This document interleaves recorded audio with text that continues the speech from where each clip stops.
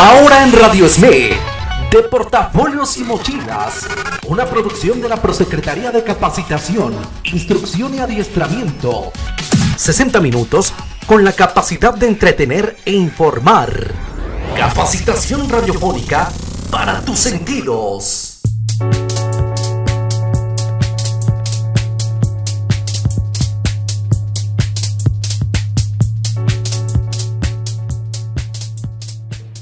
¿Qué tal? Muy buenas tardes. Estamos nuevamente en su programa de portafolios y mochilas de este viernes 31 de marzo 2017. Yo soy Eduardo Vite y les doy la bienvenida a este espacio, espacio a través de la voz de la Resistencia Eléctrica Radio SME, eh, también el programa de la Prosecretaría de Capacitación, Instrucción y Adiestramiento y pues como ya es clásico en nuestro programa de portafolios y mochilas, vamos a iniciar con lo que pasa en la historia del 31 al 6 de abril. Por favor.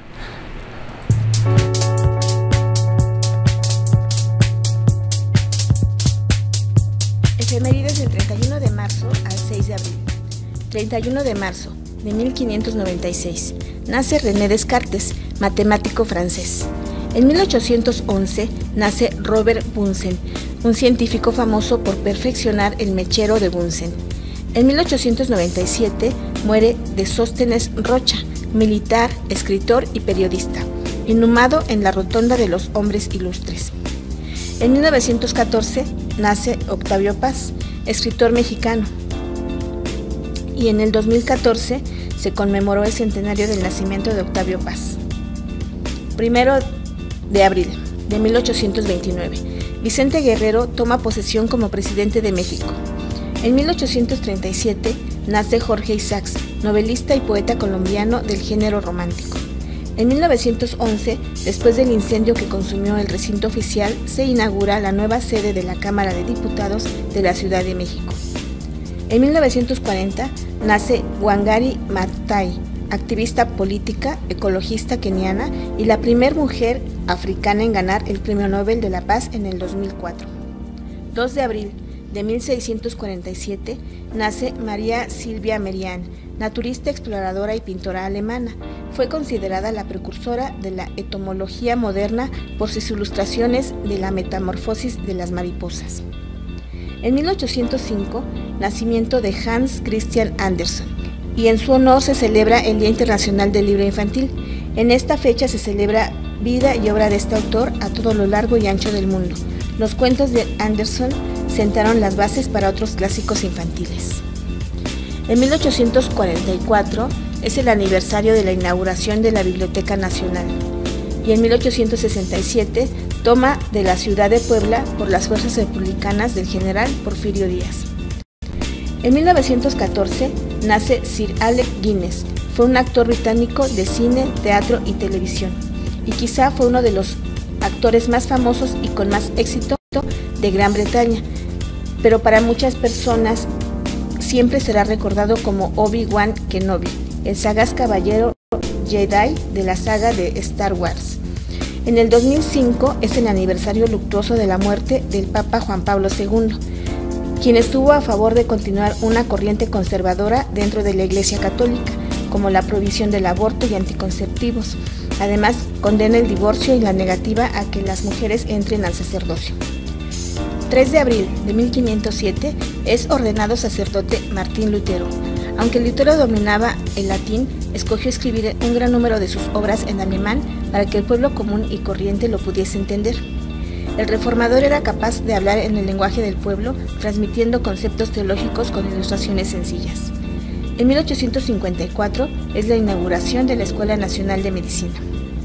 4 de abril de 1949 12 países firman el Tratado del Atlántico Norte, creando así la Organización del Tratado del Atlántico Norte, OTAN. En 1968, Martin Luther King, clérigo estadounidense, es líder de la lucha por los derechos civiles y es asesinado. Fue la persona más joven en obtener el Premio Nobel de la Paz en 1964 y por haber dirigido una resistencia no violenta con el fin de erradicar los prejuicios raciales en territorio estadounidense. Según sus biógrafos, entre 1957 y 1968 había recorrido casi 10 millones de kilómetros hablando en público más de 2.500 ocasiones, arrestado por la policía más de 20 y había sufrido agresiones físicas en al menos cuatro ocasiones. 5 de abril de 1878 muere del Calixto Bravo, coronel combatiente de la Guerra de Independencia, inhumado en la Rotonda de los Hombres Ilustres. En 1901, el general Porfirio Díaz disuelve los clubes liberales que existían en la República Mexicana. 6 de abril de 1483 es el nacimiento de Rafael, pintor y arquitecto italiano, también conocido como Rafael de Urbino o simplemente como Rafael. Fue un pintor y arquitecto italiano de alto renacimiento. Además de su labor pictórica, que sería admirada e imitada durante siglos, realizó importantes aportes en arquitectura y como inspector de antigüedades. Se interesó en el estudio y conservación de los vestigios grecorromanos.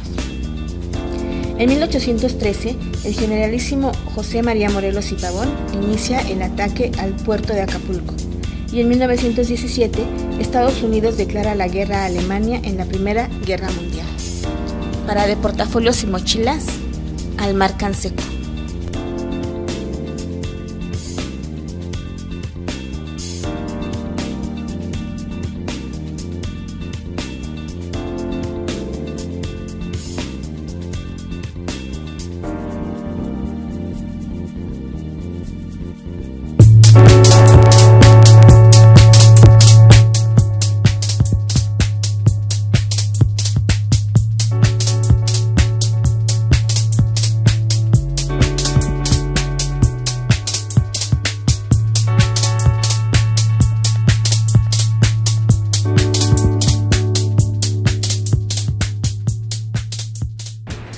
Ya estamos de regreso nuevamente en su programa de portafolios y mochilas de este viernes 31 de marzo de 2017 y pues ahí está lo que pasó en la historia del 31 de marzo al 6 de abril y pues le agradecemos por ahí a nuestra compañera Alma Canseco que semana a semana por ahí nos comparte su trabajo. Bien, también como ya habíamos escuchado en estas efemérides, por ahí el día de hoy, 31 de marzo de 2017, estábamos celebrando por ahí el 103 aniversario del natalicio de Octavio Paz que es uno de los pues más grandes poetas, escritores, ensayistas, diplomáticos que ha dado este país. Y pues el día de hoy este vamos a, recordarlo por ahí con alguno de sus trabajos. Y pues como ya les comentaba el día de hoy se cumplen 103 años del natalicio de Octavio Paz y vamos a escuchar por ahí uno de sus trabajos que se titula Vaivén. Espero que les agrade a mí me gusta mucho y espero que sea de su agrado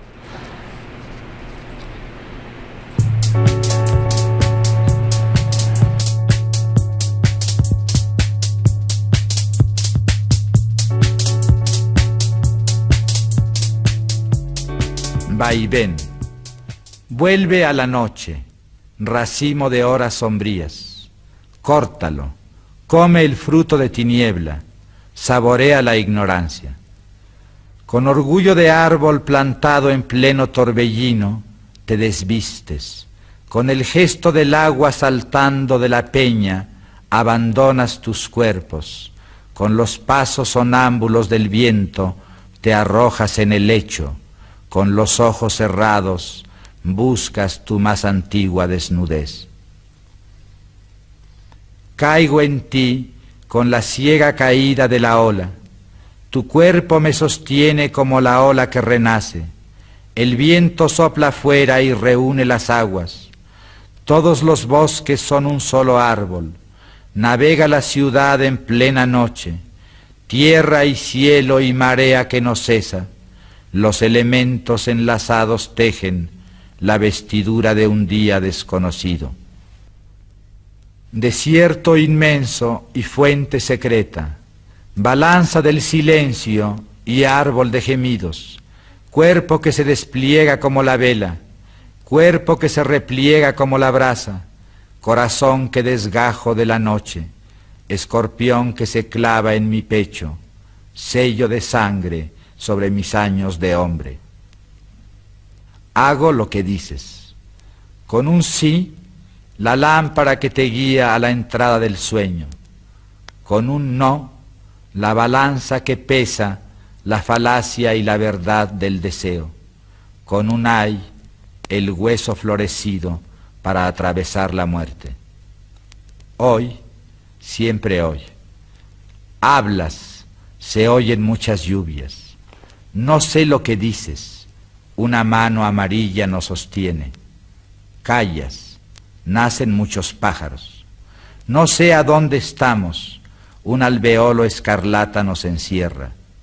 Ríes, las piernas del río se cubren de hojas. No sé a dónde vamos. Hoy es ya mañana en mitad de la noche. Hoy que se abre y se cierra, nunca se mueve y no se detiene, corazón que nunca se apaga, hoy un pájaro se posa en una torre de granizo, siempre es mediodía.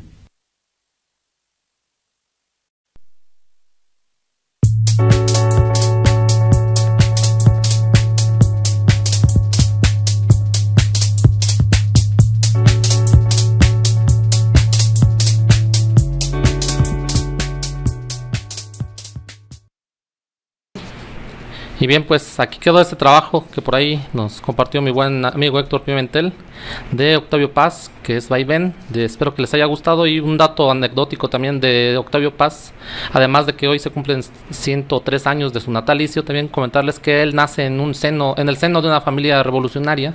A los pocos meses de que este Octavio Paz nace, su padre decide sumar a las fuerzas zapatistas y pues él junto con su madre se, trasladan a lo que era la localidad de Miscuac en aquel entonces, soy parte de esta gran ciudad y pues ahí es donde radica en, el Inter de que su, su padre se, se, se integra a, las fuerzas zapatistas. Y bien, pues vamos a, dejar este tema un poquito de lado y vamos también a, retomar otro tema que por ahí la semana pasada estuvimos tocando, que es un trabajo que por ahí mi compañero Gustavo Vite por ahí nos hizo nos hizo favor de, de compartir que se llama Posverdad que se refiere un tanto de cómo actualmente dentro de este país y también dentro de esta misma organización Sindicato Mexicano de Electricistas, por ahí tendemos a, usar los medios muchas veces de formas muy poco objetivas y pues nuevamente vamos a retomar este trabajo, espero que nuevamente les guste y después de este de que lo escuchemos vamos a tocar algunos, algunas notas que por ahí también estuvieron circulando a lo largo de esta semana en algunos medios y vamos a escucharlo. La posverdad. A lo largo de la historia ha sido lo más importante, lo más valioso, aquello en lo que los pensadores y filósofos gastaron sus mentes en busca de ella, surgiendo varias teorías para llegar a la verdad. La comprobación de hechos, la experiencia y la realidad son elementos que relativamente le dan certeza a la verdad. A lo anterior, se puede establecer un parámetro de entendimiento de la palabra verdad que podemos entender de manera general. No así con posverdad, por lo que se torna importante buscar una definición o por lo menos tratar de entenderla, pues se ha vuelto un fenómeno actual capaz de generar algo inexistente.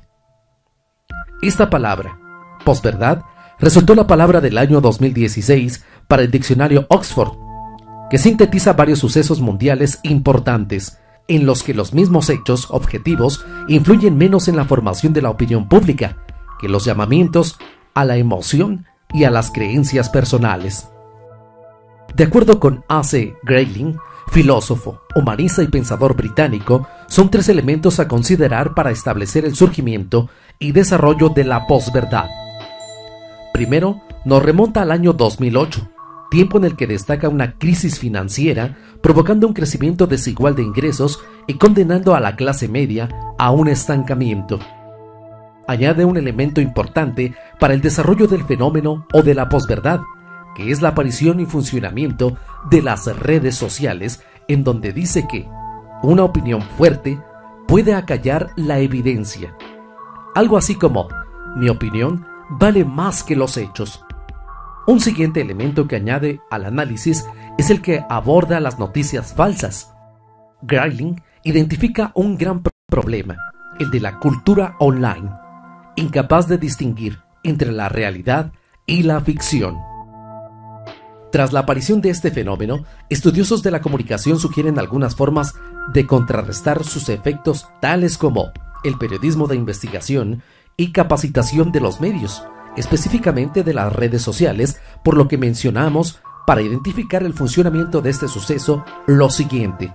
Primero, se genera un contenido, los demás usuarios lo replican Incluso algunos medios también lo hacen sin realizar una investigación a fondo y posteriormente sin identificar o reconocer el error de información para posteriormente generar nuevas notas del mismo tema. No cabe duda que los tres elementos que menciona el académico británico son importantes para entender nuestra realidad, pero estamos sumergidos, tan sumergidos en ellos que no nos damos cuenta de nuestra propia realidad. De otra manera, sobre nuestro papel en ella, dejándonos llevar sin reconocer el sitio donde estamos parados y reflexionar sobre nuestra propia capacidad de pensar.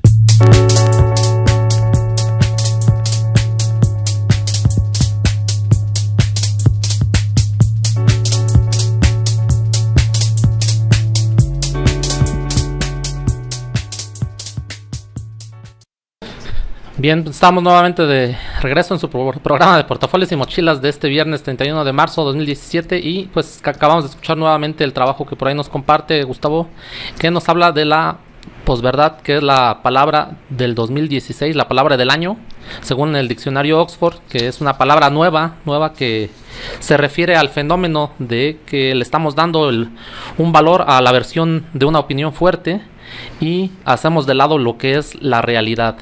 Muchos compañeros este, actualmente en nuestras redes, en las redes sociales, particularmente en la que más se emplea la gran mayoría de los compañeros de la Resistencia y del Sindicato Mexicano de Electricistas, que por ahí es Facebook, este, tendemos a solo replicar, a replicar las publicaciones de algunos personajes que ellos sienten que son autoridad para hablar sobre algunas de las cosas que están pasando y que también no están pasando dentro del Sindicato Mexicano de Electricistas y solamente las replican sin tener un análisis profundo de lo que está pasando. Por ahí el día de ayer, jueves 30 de marzo, en su sección de lo que es el correo ilustrado de la jornada, en su 32 aniversario que tiene esta, esta organización. Por ahí se publicó una, un correo que me voy a atrever a leérselos tal cual está. Y dice, ESME desmiente contenido del libro. Y dice así, sobre la presentación del libro de Mario Benítez, hay indignación en las bases del Sindicato Mexicano de Electricistas por la sarta de mentiras, manipulación de hechos, difamación del papel juzgado por nuestra dirección sindical en el conflicto derivado de la extinción de Luz y Fuerza del Centro, contenidas en el libelo de este autor. Es absolutamente falso que algún miembro del SME haya sido incluido por, excluido por nuestra cooperativa por sus opiniones políticas. Actualmente un grupo está en proceso de investigación por destacar los acuerdos, por desacatar los acuerdos de nuestra Asamblea General al haber llamado a no pagar cuotas sindicales y aportaciones a la cooperativa Luz y Fuerza del Centro. La fortaleza del SME se mide sus logros en la lucha y su compromiso consecuente con la construcción del sindicalismo clasista y un campo popular independiente, democrático y solidario. Los acuerdos de nuestras asambleas generales, comisiones de trabajo, asambleas departamentales, nunca podrán ser manipulados por libelos, calumnias en las redes sociales o en reuniones extramuros. Viva el Sindicato Mexicano de Electricistas.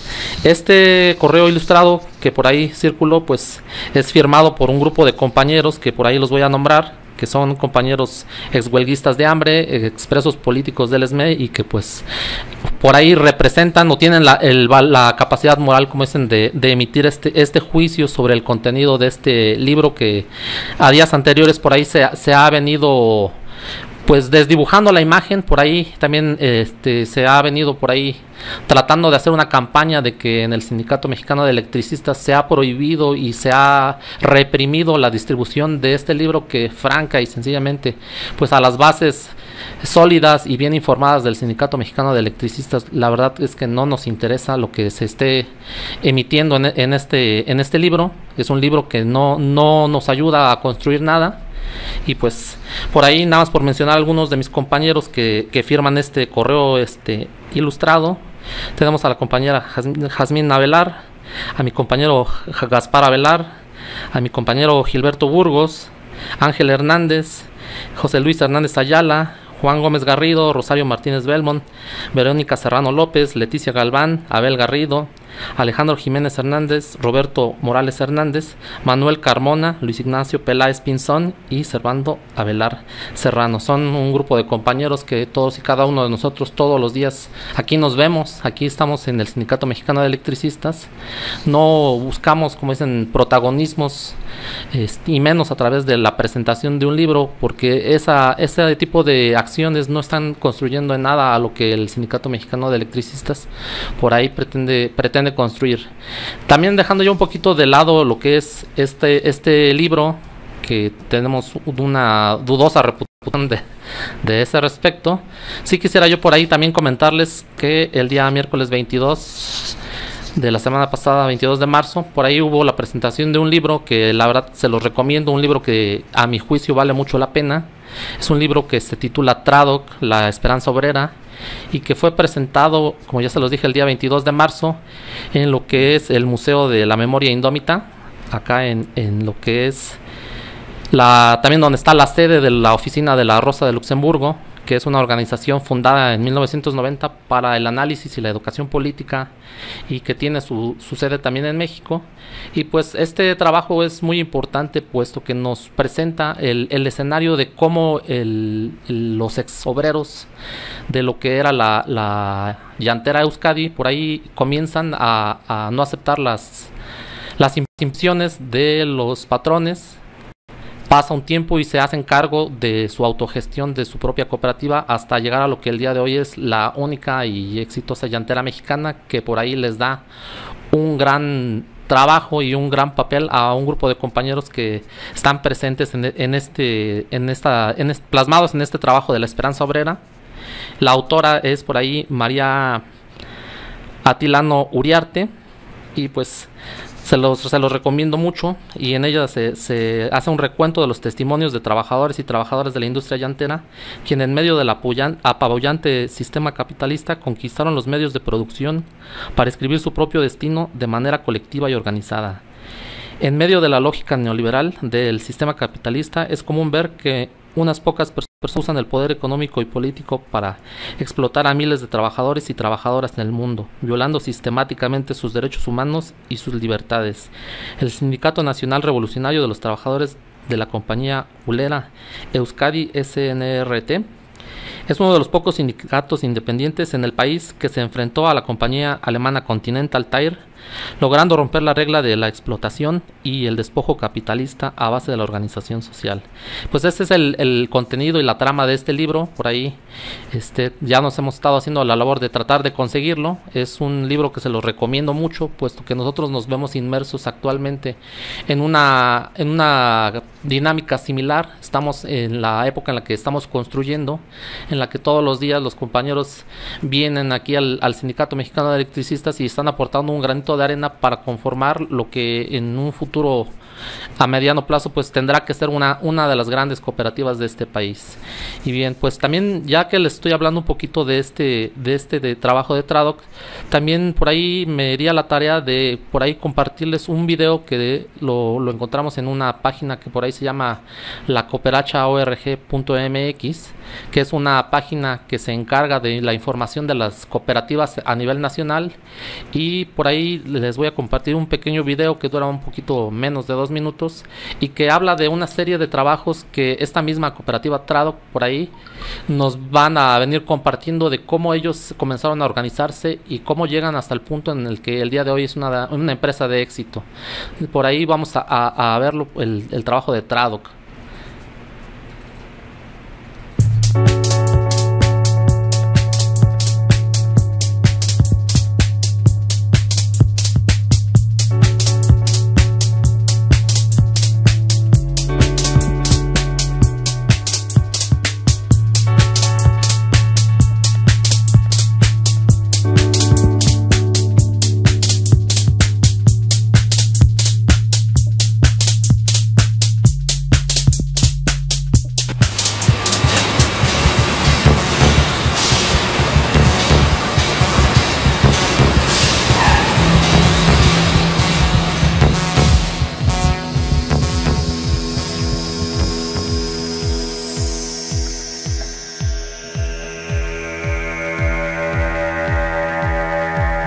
Nosotros no aceptamos el despido y decidimos resistir precisamente manteniendo un, un, proceso de huelga en la fábrica. Y que fue con esfuerzo de personas que no se les creía que lo iban a lograr. Todos los lunes de abril y hasta el primero de mayo.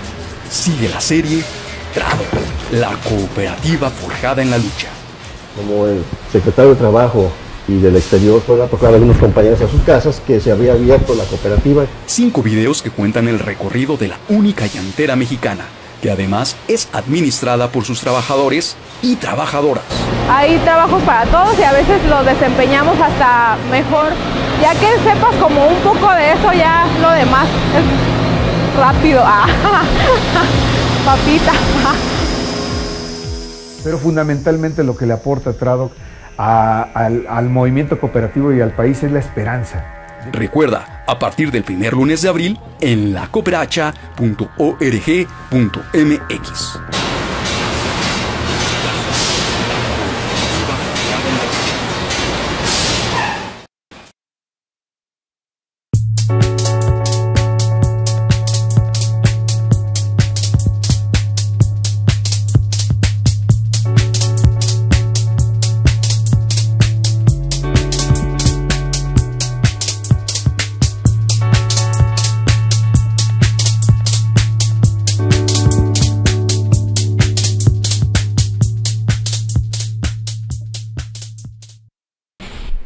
Bien, estamos de regreso después de este pequeño video que por ahí nos, nos atrevimos, como dicen, a compartirles.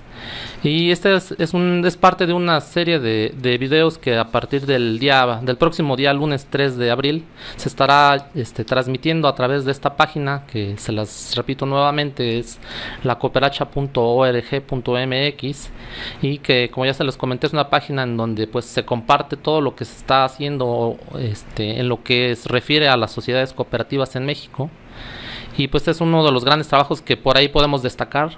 Y los compañeros de Trado están, hicieron esta serie de cuatro videos que inician el lunes 3 y van a ser este, cada día lunes a través de esta plataforma y van a concluir el día primero de mayo en donde por ahí nos van a estar narrando como dicen cómo ellos hacen su recorrido histórico a través de lo que es la el cierre de lo que es la planta de Euskadi y cómo ellos llegan hasta el punto en el que hoy se pueden llamar una empresa autogestionada por los trabajadores.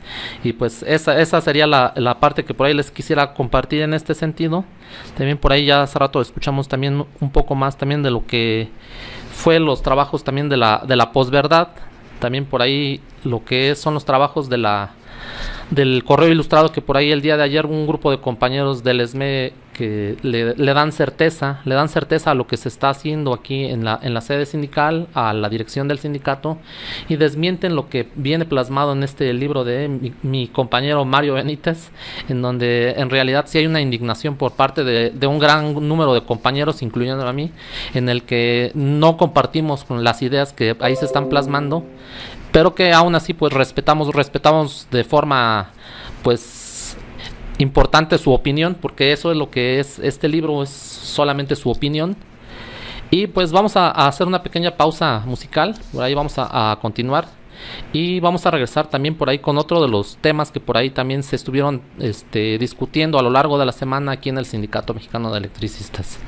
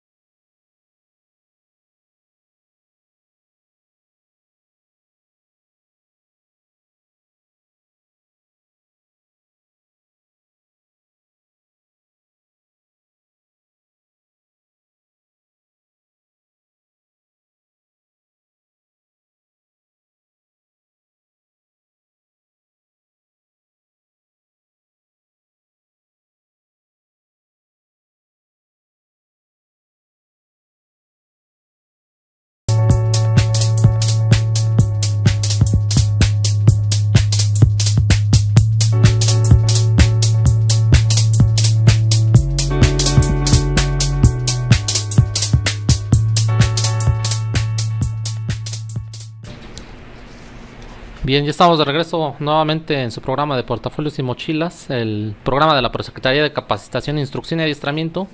Por ahí acabamos de escuchar un bloque musical muy, muy, muy, muy bueno. Y vamos a, a, continuar un poco con lo que es nuevamente retomando lo que las actividades de esta semana. Por ahí el día de ayer se dio en el auditorio Ernesto Velasco de Insurgentes 98 lo que fue la asamblea de jubilados, una asamblea importante que se declaró permanente y que llegó también a tomar algunos acuerdos importantes para lo que es este grupo de compañeros jubilados y pensionados con renta vitalicia. El auditorio se llenó completamente y pues mis compañeros salieron muy convencidos de lo que se está haciendo en este sindicato mexicano de electricistas. Y a la par de que se dio esta, este, este evento del, de lo que es la asamblea de jubilados también por ahí el sindicato mexicano de electricistas también por ahí el día de ayer este un poquito ya por la tarde comenzó a circular lo que es una pequeña publicación que titula este, Las 12 necesidades, necedades de José Antonio Almazán.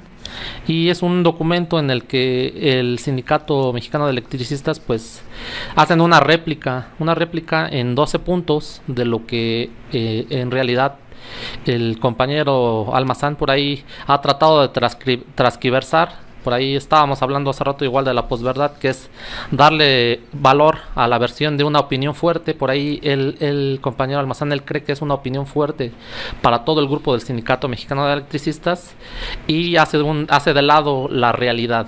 Por ahí estos 12 puntos pues se los voy a, leer rápidamente puesto que es un, un, texto largo y los invito a que lo, lo retomen. Por ahí está circulando en Facebook, en las páginas oficiales del Sindicato Mexicano de Electricistas y replicado en algunas otras prosecretarías y secretarias. Este dice así. El número uno dice que mi compañero, ah, que el Sindicato Mexicano de Electricistas ha entregado, se le han entregado propiedades en transmisión no onerosas de bienes y que el registro puede tardar varios años. Pues ahí también mis compañeros se han dado la, a la labor de, de, hacer la, la, cesión de los bienes que el Sindicato Mexicano de Electricistas y la cooperativa LF del Centro pues ya han podido llevar a cabo el punto número 2 dice que este compañero está mintiendo cuando dice que el ESME le entregó la clínica 26 al IMSS, cosa que pues todos sabemos que al darse el decreto de extinción de luz y fuerza, la clínica pasó a ser este patrimonio de esta institución y que sin embargo el Sindicato Mexicano de Electricistas por ahí ha tratado de hacer las gestiones para que durante todos estos años que ha durado la resistencia nunca hemos, nunca hemos perdido por ahí lo que es la prestación de los bienes. El número 3 por ahí dice que también se miente cuando se dice que al recibir la generadora Fénix las plantas de generación se avala el hecho de la privatización de la industria eléctrica. Por ahí lo, el hecho de la sociedad con Fénix también por principio por ahí no nos podría parecer en el contexto en el que estamos, pero yo les puedo decir que a través de la lucha histórica del Sindicato Mexicano de Electricistas, cuando se comenzó la, la industria eléctrica en México también era privada y el Sindicato Mexicano de Electricistas ha hecho la labor para que se luche por lo que es el derecho a la energía, y porque las organizaciones democráticas y sindicales como, como esta pues, puedan tener cabida en estas industrias. Por ahí el número 4 dice que se miente cuando se afirma que se ha ocultado información sobre el capital de Fénix. En los acuerdos con Motengil siempre se ha establecido poder garantizar la liquidez de LF del centro a partir de las ganancias por la generación de energía y con la modificación al estatuto sindical se dejó claramente establecido que todos los socios cooperativistas somos activos del SME, es decir, es de todos. También por ahí se habla de que este, este personaje miente cuando dice que el gobierno, al gobierno le salió este, barata lo que es la, indemnización del F del centro.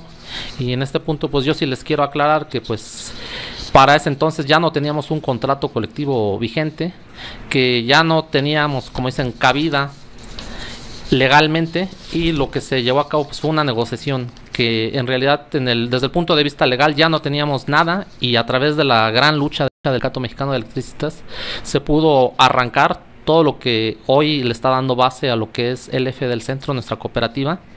Y en el punto número 6 también por ahí se dice que se pretende ocultar la información que le consta porque fue miembro de la dirección en la que dice que las, en diversas ocasiones se informó de la imposibilidad de ubicar esos fondos y cuando se planificó la estrategia legal, después se, se este, falló, después del fallo de la Suprema Corte, perdón, en el punto número 7 por ahí también se dice que cuando se habla de una negociación a la baja, este se va nos vamos dando cuenta que la entrega de los predios, de los predios que por ahí ha tenido a bien el rescate y el reclamo, la resistencia, no solamente la dirección, pues ha habido algunos, algunos impedimentos, no nuestros, sino de, las mismas de las mismas autoridades por ahí.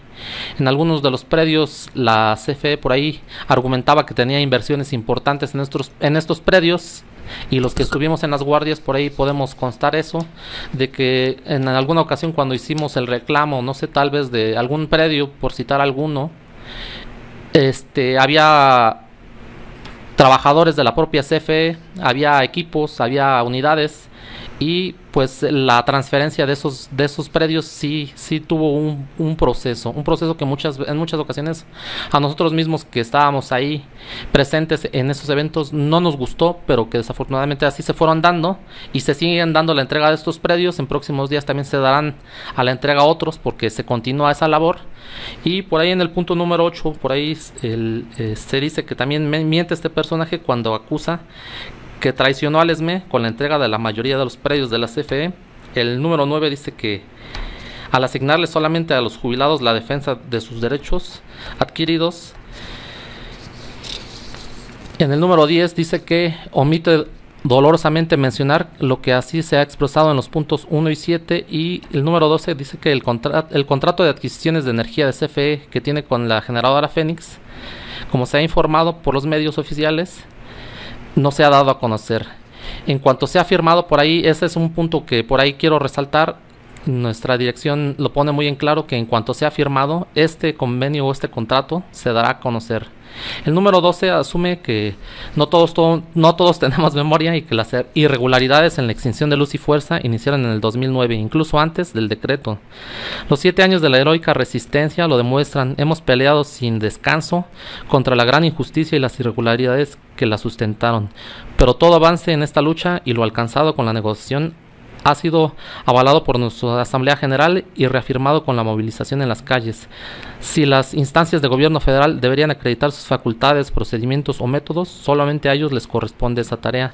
Este es un trabajo o un, que por ahí, un, posicionamiento que, como ya les comentaba, el día de ayer el Comité Central y las comisiones autónomas este, lo publica. Espero que, que lo puedan leer para que tengamos un análisis un poquito más certero, en donde son muy puntuales en, estos 12, en estas 12 posiciones en donde ellos no están buscando una lucha frontal con este personaje, como eh, al contrario sí se está haciendo, en donde por ahí también hay otro grupo de compañeros que inclusive ya se sienten también este, documentalistas, están por ahí dándose a la tarea de hacer videos o una serie de videos como si fuera esto una, una serie telenovelesca, en donde poco a poco van a ir desenmascarando, como dicen, algunas irregularidades. Pues esto es en sí lo que ha estado pasando esta semana en, el Sindicato Mexicano de Electricistas y pues más que nada, como ya se los habíamos referido en el trabajo de la posverdad, es este fenómeno que por ahí muchos compañeros le damos la credibilidad a este tipo de personajes a través de una publicación en Facebook, a través de la publicación de un libro, de un libro que se lo sacan de la manga, en realidad este, en él se plasman las ideas personales o particulares de un compañero pero que también este, está, como dicen, por encima pues clara y, a todas vistas lo que es la opinión y el sentimiento del grupo del Sindicato Mexicano de Electricistas que todos los días nos vemos aquí, sabemos cómo estamos trabajando, sabemos que este camino no ha sido nada fácil y pues de mi parte sería todo por el día de hoy y esperemos que en la próxima semana viernes por ahí 7 de abril por ahí nos podamos seguir escuchando en más de portafolios y mochilas la voz de la resistencia eléctrica a través de lo que es el programa de la Prosecretaría de Capacitación, Instrucción y Adiestramiento. Le agradecemos a mi compañero Héctor Pimentel que por ahí semana a semana por ahí nos comparte su, su labor detrás de los micrófonos ahí en la operación. Y pues muy buenas tardes